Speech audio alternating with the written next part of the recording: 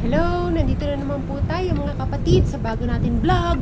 At sisimulan na naman po natin ang katakawan natin ngayon. So, ano po ba sa tingin ninyo ang pagkain natin today? Hmm, isa po itong manamis-namis at takam-takam at kakaibang pagkain dito sa Saudi.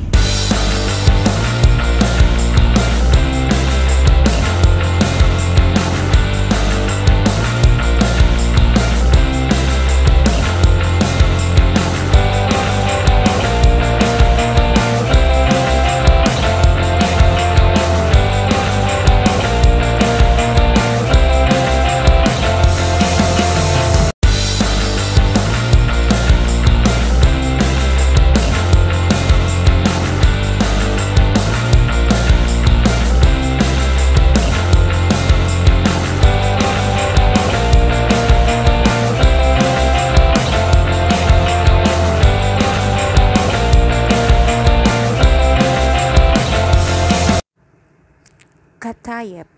Ito ay isang Arab dessert commonly served during the month of Ramadan. A sort of sweet dumpling filled with cream or nuts. It can be described as folded pancake. It is usually made of flour, baking powder, water, yeast, and sometimes sugar is added. Itong katayep na nabili natin is may whipped cream sa loob. So, ang whipped cream, ang tawag nila dito ay kishta. Ang tawag ngayon dito sa nabili natin ay katayef kishta. Sa mga taga-Saudi, mga OFW dito, subukan nyo po itong katayef kishta. Ito naman po ay ang gambari o hipon. At ito, ang tawag nila dito ay macaroni.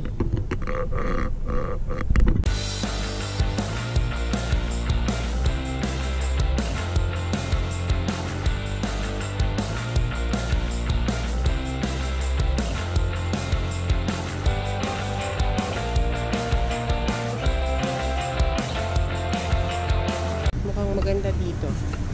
Um, hindi ko alam kung ano mabibili natin dito pero try natin. Pasok tayo sa loob.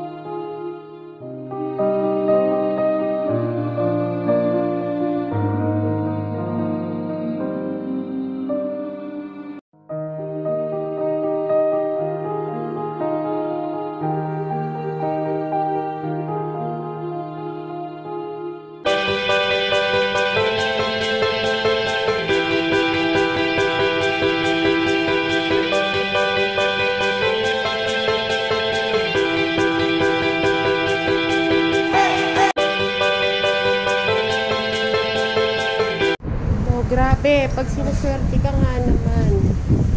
Bait-bait nung ano doon.